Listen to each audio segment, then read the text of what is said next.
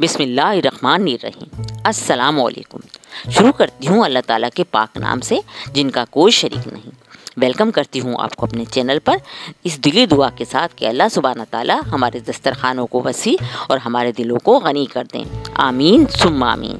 Friends, गर्मी का मौसम है। कच्चे आम मार्केट में हर तरफ़ अपनी बाहर दिखा रहे हैं और लोग कच्चे आम की मुख्तलिफ़ रेसिपीज़ बनाने के लिए एक्टिव हो चुके हैं। मैं भी आज आपके साथ कच्चे आम के खट्टे मीठे इंस्टेंट अचार की रेसिपी शेयर कर रही हूँ, जो यूनिक है टेस्टी है और ईजी है। वीडियो फुल वॉच करके आप इसे बासानी बना सकते हैं। तो हम अपनी रेसिपी स्टार्ट करते हैं। बिस्मिल्लाहिर्रहमानिर्रहीम। केरी के खट्टे मीठे अचार के लिए मैंने यहाँ पे हाफ़ के जी केरी इसे मैंने बहुत अच्छी तरह से वॉश कर लिया है। अब हम इसे सबसे पहले छील लेते हैं।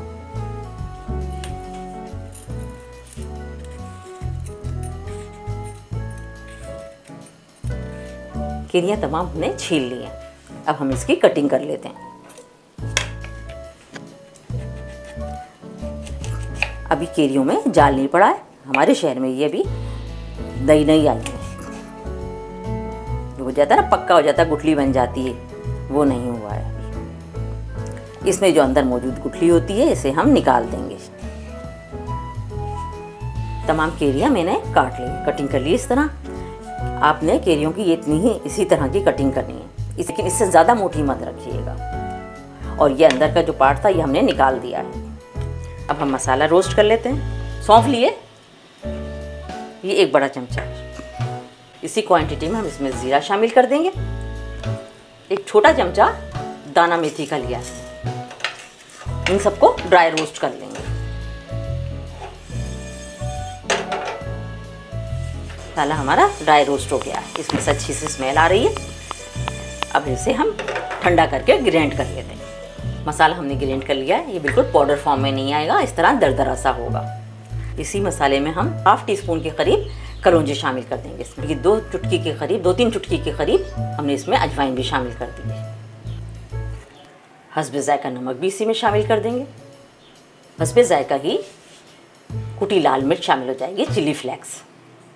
आधा छोटा चमचा हल्दी शामिल हो जाएगी इसमें। और आधा छोटा चमचा ही इसमें हम काला नमक शामिल कर रहे हैं। नमक शामिल करते वक्त देख लीजिएगा काला नमक शामिल होगा तो आप नमक की क्वांटिटी अपने हिसाब से कम कर लीजिएगा, या जैसे भी हो, आप इसके अकॉर्डिंग कर लीजिएगा। मसाले हमारे सारे रेडी हो गए। अगला स्टेप करते हैं। कढ़ाई हमने चूल्हे पे रख दी है, और इसमें ऑयल भी ऐड कर दिया है। ऑयल हमारा तकरीबन दो टेबल स्पून के करीब है। इसमें ज़्यादा ऑयल नहीं पड़ता। ये इंस्टेंट अचार है, बहुत मज़े का बनता है। ज़रूर बनाइएगा। ऑयल हमारा गर्म हो गया है। इस पॉइंट पर हम इसमें केरी ऐड कर देंगे। चूल्हे का फ्लेम मीडियम रहेगा। बहुत इजी रेसिपी है इंस्टेंट अचार की से रेडी करते ही आप इसे इस्तेमाल करना शुरू कर सकते हैं। और बहुत मज़े का होता है। जब तक केरी का सीज़न रहता है, ये अचार हमारे घर में मुस्तकिल बनता रहता है। अब हम इसमें जो मसाला हमने तैयार किया, इसमें जो ग्रैंड मसाला किया था, वो भी शामिल है और जो मसाले हमने बाकी मिलाए थे, वो सब इस मसाले, इसमें ऐड कर देंगे। बहुत इजी रेसिपी है। झटपट बनेगी।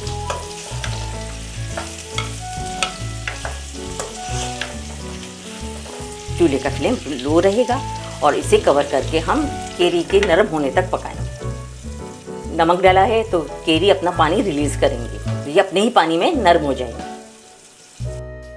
लो फ्लेम पर हमारे अचार को पकते हुए 10 मिनट हो गए हैं तकरीबन। हम इसे चेक कर लेते हैं। केरी हमारी नरम पड़ गई है। हमें इसे इतना ही पकाना था ये तकरीबन 10 मिनट में इस तरह इतनी नरम हो गई है। इसी स्टेज पर हम इसमें शक्कर शामिल कर देंगे। ये हाफ़ छोटी प्याली है। आप अपने टेस्ट के अकॉर्डिंग शक्कर इसमें ऐड कीजिएगा। अगर आपको ज़्यादा खट्टा पसंद है तो शक्कर की क्वांटिटी कम कर लीजिएगा। और अगर आपको कम खट्टा पसंद है तो आप शक्कर की क्वांटिटी बढ़ा लीजिए। शक्कर की जगह आप इसमें गुड़ भी शामिल कर सकते हैं। उससे भी इसका फ्लेवर बहुत अच्छा आता है। अब हम इसे इतना पकाएँगे कि शक्कर हमारी अच्छे से मेल्ट हो जाए और शक्कर जो पानी रिलीज़ करती है वो पानी भी इसका ड्राई हो जाए। चूल्हे का फ्लेम थोड़ा सा हाई हो जाएगा। अब इसे हम मीडियम लो फ्लेम पे पकाएँगे ताकि शक्कर अच्छे से मेल्ट हो जाए और, और जो पानी शक्कर रिलीज़ करेगी वो भी ड्राई हो जाए। शुरू शुरू की केरियाँ या कच्चे आम ज़्यादा खट्टे होते हैं। इसके अकॉर्डिंग ही इसमें ना शक्कर या गुड़ ऐड कीजिएगा। बहुत मज़े का होता है खट्टा मीठा। ये अचार आपके दस्तरखान की रौनक दोबारा कर देगा।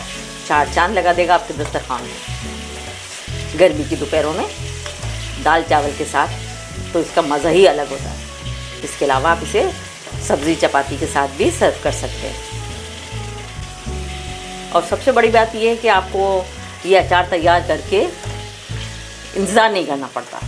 बस जस्ट रेडी हुआ और तभी आपने इसे इस्तेमाल करना शुरू कर दिया। हमारा मज़ेदार सा खट्टा मीठा चाट रेडी हो गया है। शक्कर हमारी अच्छे से मिल्ट हो गई है और शक्कर ने जो रिलीज़ किया था पानी, वो भी इसमें ड्राई हो गया। चूल्हे का फ्लेम हम ऑफ़ करते हैं और आपसे इसकी फाइनल प्रेजेंटेशन शेयर करते हैं। और जनाब, ये हमारे कच्चे आम की, खट्टे मीठे अचार की फाइनल लुक है। माशाल्लाह, बहुत अच्छा बना है। जितना अच्छा ये देखने में लग रहा है, उससे कहीं ज़्यादा अच्छा ये खाने में है। अच्छे बड़ो, सबकी पसंद है। गर्मी के मौसम में खाने का लुत्फ दोबाला कर देता है। बट बनता है, कम इंग्रेडिएंट्स के साथ बनता है और जो इंग्रेडिएंट्स इसमें इस्तेमाल होते हैं, वो सब हमारे किचन में ऑलरेडी अवेलेबल होते हैं। लो बजट अचार है। ट्राई ज़रूर कीजिएगा, इंशाल्लाह आपको और आपके घर वालों को भी बहुत पसंद आएगा। आपने एक बार ट्राई कर लिया तो आप इसे बार बार बनाएँगे। और गर्मी के सीज़न में अपने लंच के मेन्यू में ये आप कंटिन्यूसली शामिल कर लेंगे।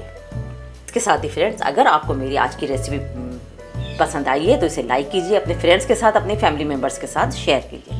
चैनल पर अगर नए हैं तो चैनल को ज़रूर सब्सक्राइब कर लीजिएगा। साथ ही बेल आइकन पर क्लिक कर लीजिएगा, ताकि हर नई आने वाली वीडियो का नोटिफिकेशन आपको बर वक्त मिलता रहे, और कोई भी वीडियो आपकी मिस ना हो। प्यारे कमेंट्स कीजिएगा, अपना फीडबैक देते रहिएगा। मेरे चैनल का विज़िट कीजिएगा, मेरे चैनल पर और उनकी डिफरेंट रेसिपीज़ ऑलरेडी मौजूद हैं, जिसमें आम का पन्ना, आम का शरबत आम के मुख्तलिफ़ अचार। डिफरेंट अचार की रेसिपीज़ भी मेरे चैनल पर मौजूद है। तो चैनल का विज़िट ज़रूर कीजिएगा। इन आपको वो रेसिपीज़ भी बहुत पसंद आएँगी। सब लो बजट रेसिपीज़ है। कोई ऐसी चीज़ नहीं है जो आपको बाज़ार से ख़रीदनी पड़ेगी। तमाम रेसिपीज़ के इन्ग्रीडियंट्स आपके किचन के अंदर ऑलरेडी मौजूद होते हैं। अपना और अपने प्यारों का बहुत ख्याल रखिएगा। मुझे, मेरी फैमिली को और मेरी कंट्री को अपनी दुआओं में शामिल रखिएगा। मिलते रहेंगे इंशाल्लाह नई नई वीडियोस के साथ। तब तक के लिए थैंक यू फॉर वॉचिंग अल्लाह हाफिज़।